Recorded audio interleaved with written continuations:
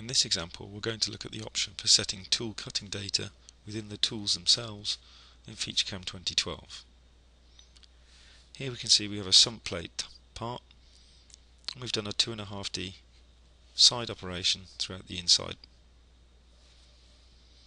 What we have is we have three different tool choices to machine this.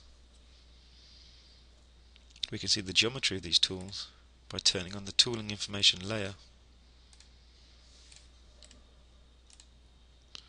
zooming into. Here we can see we've got the three different tool types.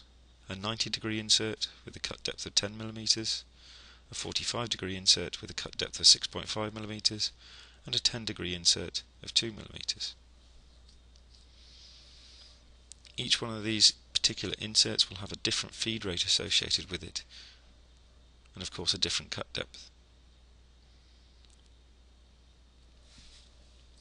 because they share similar geometry in terms of the general cutting data we would get similar types of toolpaths despite the fact that these tools cut in completely different ways.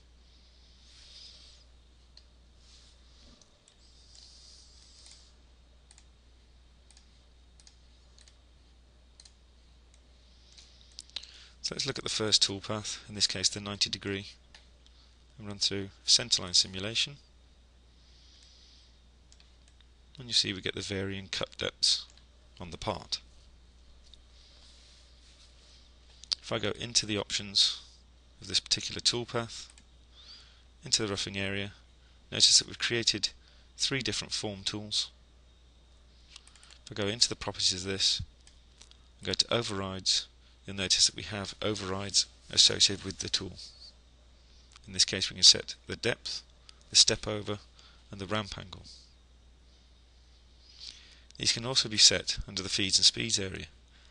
In this case you'll notice for aluminium we've already created one in this case we've specified a maximum depth of 8mm and a step over distance of 25mm.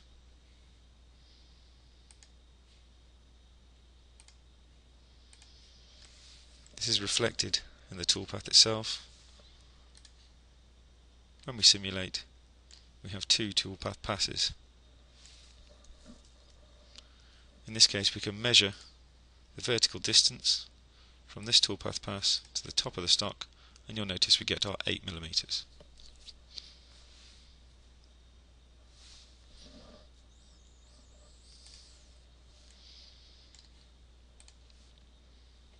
The 45 degree tool, if I go into here, into the roughing, into the tool geometry here, this time we set the overrides and this has a depth of 3 millimeters and a step over of 15 millimeters.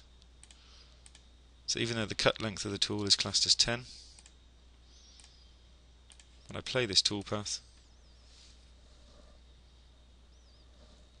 view to the side, again I'm just going to hide everything and measure the distance. Here you can see that 3mm cut depth.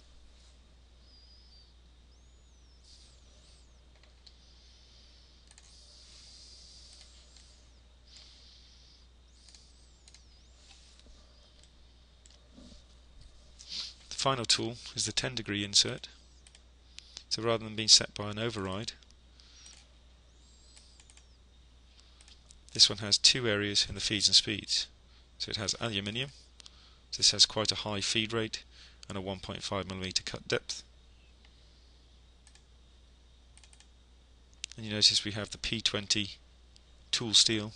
This has a lower cut depth, lower feed rate, lower spindle speed.